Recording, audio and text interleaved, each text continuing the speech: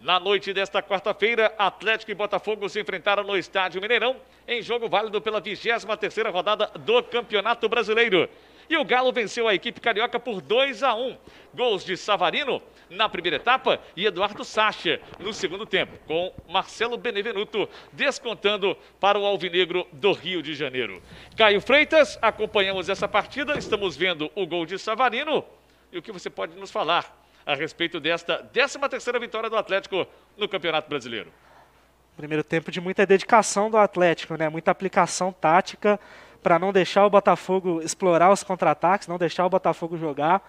Quando o Atlético tinha a bola, encontrou muitas dificuldades, porque o Botafogo realmente muito fechado, né? Muitos jogadores protegendo principalmente os lados do campo, conseguiu o gol, né? E aí no segundo tempo conseguiu se soltar um pouco mais, né? E marcou esse belo gol, Pinão. E aí o gol de Eduardo Sacha após cruzamento de Savarino. Belo gol, como destacou Caio Freitas. Savarino mais uma vez participando muito bem, né? Líder de assistências do Galo ao lado do Queno nesse campeonato, com cinco passes para gol. E aí vem um ponto que muda um pouco né, o contexto do jogo.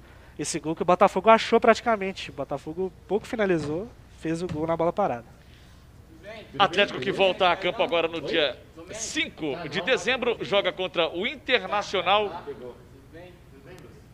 no estádio Mineirão pela 24ª rodada do Campeonato Brasileiro. Mais uma vez, terminará a rodada como líder do torneio.